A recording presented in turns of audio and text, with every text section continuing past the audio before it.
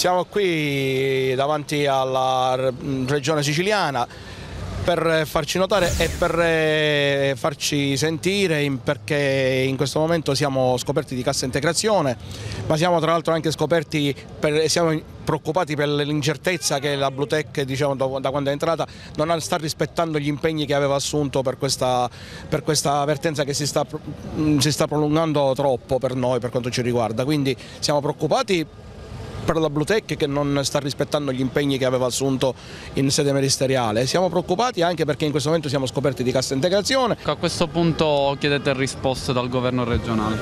Sì, noi dobbiamo continuare, non possiamo fermarci. È dal, dal 2011 che, che, questa vicenda va avanti. Nel, 2014, nel 2011 è andata via Fiat, nel 2014 è subentrata Bluetech.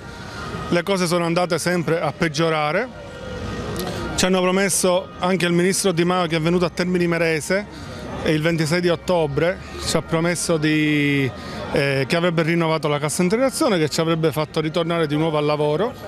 Invece eh, siamo a febbraio, non abbiamo né il lavoro e nemmeno la cassa integrazione.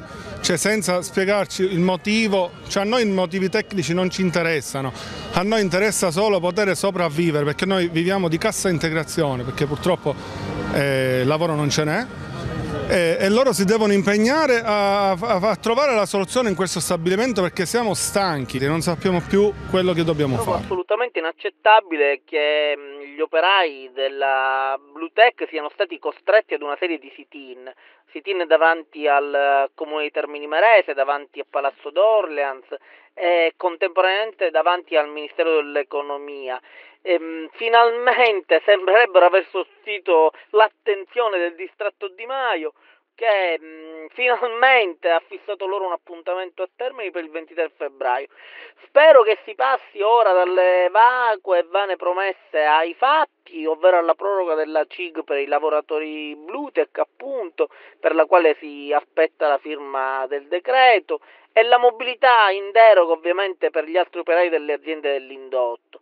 Inoltre mh, mm, chiediamo che venga aperto prima possibile un confronto eh, sul piano della reindustrializzazione perché così non si può più andare avanti, è un fatto di dignità, è un fatto di diritti eh, che vanno garantiti. Lo chiedo in maniera decisa, eh, il buon Di Maio la smetta di tergiversare e passi alla risoluzione immediata del problema. Questa gente non può più aspettare.